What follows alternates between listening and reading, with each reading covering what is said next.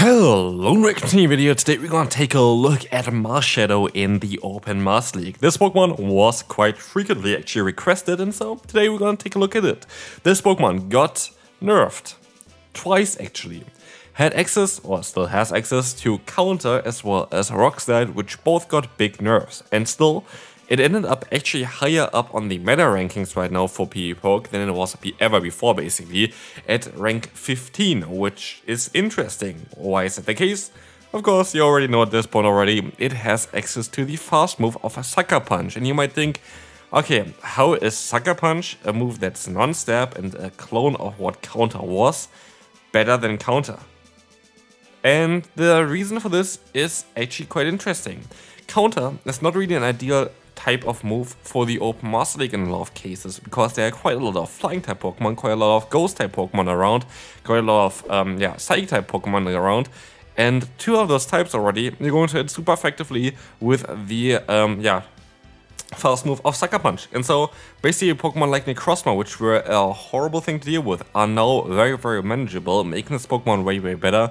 You still have Ice Punch, which is great in the current meta, and you still have Close Combat, which we are gonna talk a bit about here as well for this team. But anyway, first battle is going to be a victory.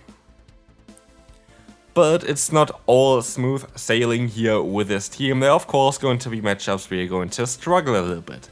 Here's one of those. We're going to have a Necrozma Necrozma Elite. We can go for one close combat, do around half of the HP from the opponent, and we're going to swap out and do some super effective damage with our new fast move, which is kinda great, right? But of course, we're gonna struggle up now as well a bit against Yveltal. Yveltal is a Pokemon that got recently buffed as well, and the idea behind this team was actually kind of baited out anyway with the Marshadow, and so I'm quite happy that we were able to do this. And um, then I want to try to kind of punish it later on with the Xerneas, and that's kind of the idea behind it. That's why we're going to have the other Necrozma form in the back, which kind of tries to, yeah, get a bit of support from the uh, Marshadow here, which in terms of getting rid of Yveltal. That definitely worked out quite well for us.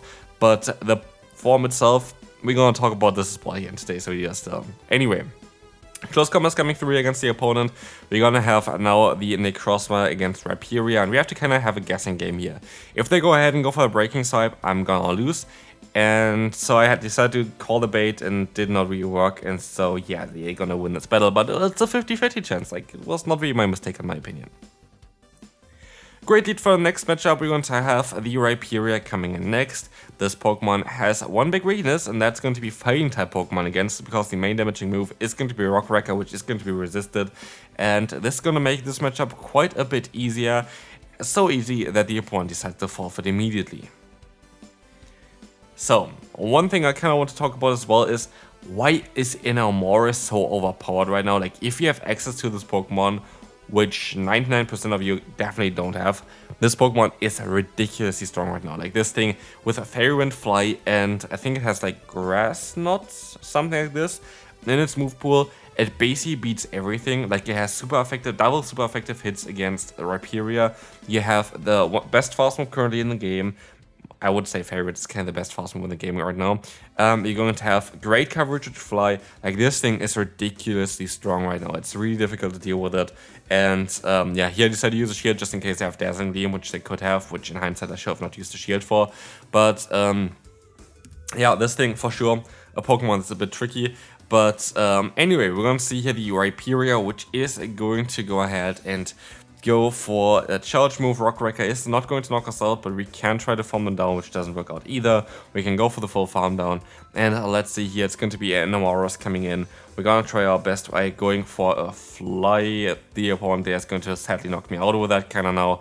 And actually even catch the move. Great play there, but maybe was winnable if I played a bit differently, but it is what it is. We can move on to the next opponent.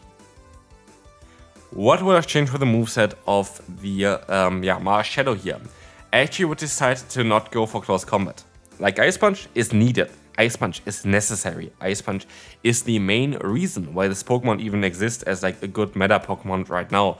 Because Ice Punch is gonna give you coverage against Yveltal, Landorus, Rhyperior, all of those Pokemon. Yes, Rhyperior you're going to be able to hit with the um, close combat for the people in the comment section as well again. Like for sure you're going to be able to do that. But Ice Punch is the main reason why Marshadow is really around right now But there's another move that this Pokemon can learn, which I would recommend you to go on for this one. And this is Rock Slide. It got nerfed. It is a move that also hits flying type Pokemon. But with this team specifically, you want to kind of have Rock Slide on this Pokemon maybe, because it's going to allow you to hit double super effective on Ho-Oh. And if you're going to take a look at the team, and if you're going to take a look at Ho-Oh, you're going to realize quite fast that Ho-Oh is a big problem. And we very likely going to see some battles against Ho-Oh here as well still today. It is very, very yeah, nearly impossible to even be, deal with the Ho right now. Guess it's not, not really impossible at the end of the day, it really depends on the situation that you're in. But let me tell you, Rock Slide really will help you out. Like, Rock Slide is gonna be able to help you out quite a bit with that kind of weakness, and close combat, I barely really used. Next opponent, we're going to have the great lead that we kind of need to keep, and we have a nice next matchup as well, where we're going to have Sucker Punch and Ice Punch, which is going to allow us to knock out that Landorus quite easily. Double super effective Ice Punch from a very hard hitting Marshadow is something that is not to joke about. As you're gonna see, we're gonna get the shield from the opponent. We can try our best to go for another charge move afterwards. But yeah, Marshadow for sure with Sucker Punch is a bit better as well. Like for sure is a very solid Pokemon to run right now. But I'm still not really too sold about A, the team and B, the moveset of this Pokemon. And I have to say, I do think it's quite difficult right now to find a team that is working around this thing because there are not a lot of Pokemon that really make sense with this. Um, actually, one Pokemon that I'm just thinking about that would make a bit of sense with this Pokemon might be actually the one that we already showcased on the channel literally just I think today, which is going to be Nihilego. Nihilego makes a bit of more sense as well, being able to counter fairy types plus flying type Pokemon, which is the main weakness of it, then have this one as a Seiza and then have something similar in the back. I guess it would make a bit of sense as well. But um, yeah, anyway, it's a bit difficult to build a good team around this thing. Anyway, we want to have here also the matchup of Necrozma against our Eval, Yveltal, I won't say, Xerneas, of course. Xerneas is going to be able to get the knockout here, and Xerneas going to be able to get another knockout straight away afterwards. Being one of the best answers to the Yveltal, it's kind of great that this Pokemon exists. So we're gonna see here as well the opponent having the Necrozma lead. We saw already what we did before. We decided to go for a close combat and then we're gonna swap out into our um, yeah, safe swap of the Marshadow. Marshadow is doing some super effective damage. Here I think this was clearly just Dark Pulse. Kinda maybe silly for me to use a shield there. But they're gonna go into a Landorus, which is also very silly to be fair, especially as we're gonna have now a little bit of a better matchup. Here's one thing as well for the Landorus matchup. It actually got a bit better this season as well because you have now the lesser energy generation from Mud Shot, which is really cool. And so I do think that this Pokemon has still a lot of play though. I maybe kind of want to take a look at Landorus again as well. I think it's a very good Pokemon. But here we were barely not able to knock them out, which is fine. We're gonna still be able to go for one more fast move with Xerneas here. We're gonna be able to go for the close combat, which might be able to even knock them out here. Let's see. It does not. And now we're going to have Necrozma against whatever they have in the back, and we have a ton of energy. And so we are in a great spot here, right? Dark Pulse coming through, getting our final shield. It's going to be Avalugg in the back. And I was like, I should just go for the Moongeist Beam. I thought they need one more fast move.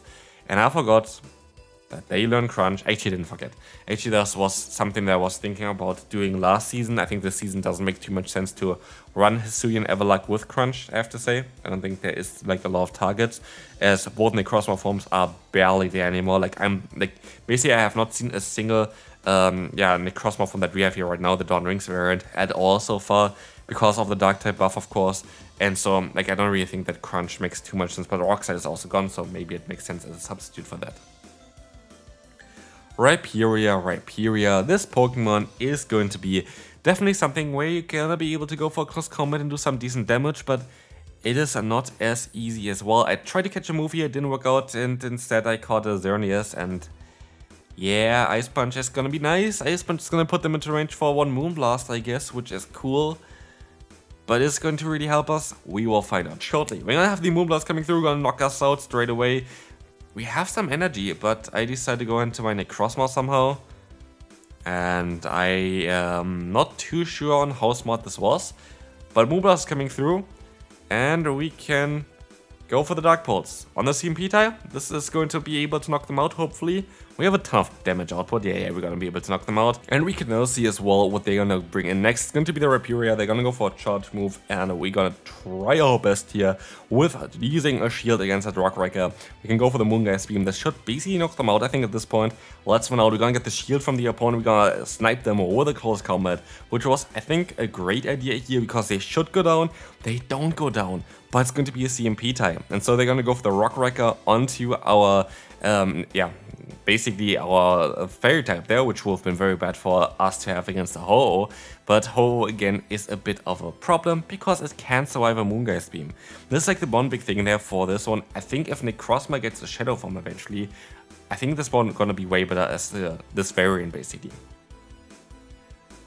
Moongeist Beam is like in this one awkward position where basically it is never able to really get a one-shot. Like it's very rarely able to get a one-shot because most Pokemon survive with like 10 H, like 10% or like 20% of their HP, which is grand because then they can go for the full farm down, but in like the zero shield scenario, you're usually not going to be able to go for the full farm down.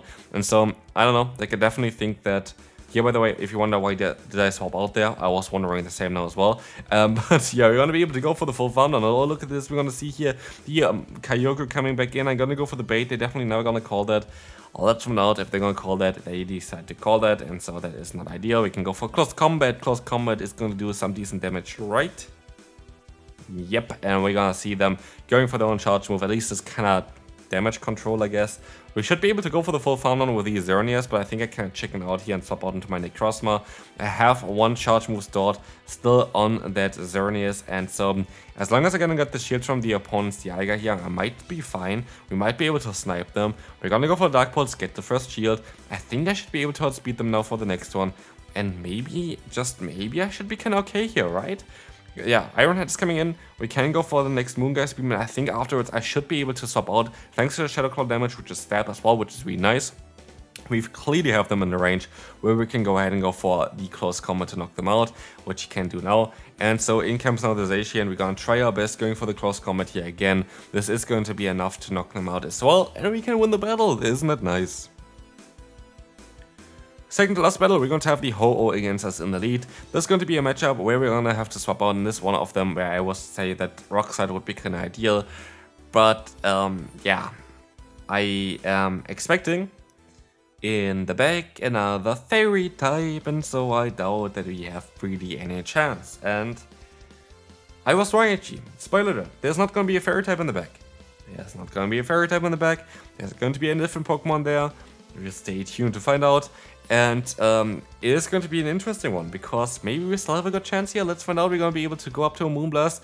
As we know, we're going to have strikers against the Ho. We need to have our Necrozma to beat everything. It's going to be Kyogre. Ho-Oh and Kyogre together on one team. Cool shiny here. I love that one. Um, it's going to be difficult to beat. Um, the opponent, at this point, I feel like the smartest move for them would be to go ahead and let the move go through for them because they can just farm me down with your Ho-Oh, Ho-Oh does more damage. But they decided to do not that, and that kind of gives me an opportunity maybe to win the battle. If I went for the Dark Pulse instead, which I maybe should have done here, to be fair, because it was my only win con, I maybe had actually a bit more play.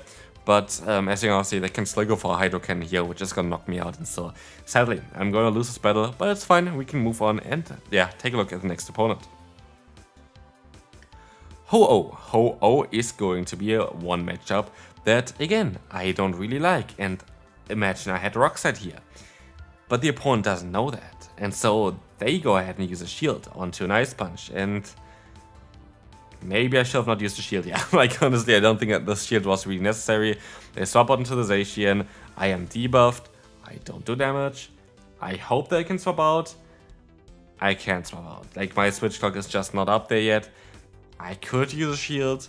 I am not gonna use a shield because how am I gonna be able to beat the Ho-Oh? Like, I have to rely basically on my Necrozma. Necrozma is my only way of beating that Ho-Oh. And so, again, Rock Slide would be nice. Would also allow you to hit those fairy types maybe a bit better. But, um, honestly, I just really hope that we're gonna get the signature move for this Pokemon eventually. For the uh, Shadow with Spectral Thief, that would definitely be way better for it, giving it some nice coverage on the Ghost typing. I think that would be really good for it, but right now I don't think it even learned Shadow Ball, which is kind of sad. And so here, I uh, decided to go ahead and go straight for the big move, straight for the Moongeist Beam, and I sadly call it incorrectly. If I actually went for the bait first and then for the Moongeist Beam, I would have had a chance of knocking them out. But yeah, like this, day is not really a way. I can try my best. I can't really get to a move here anymore.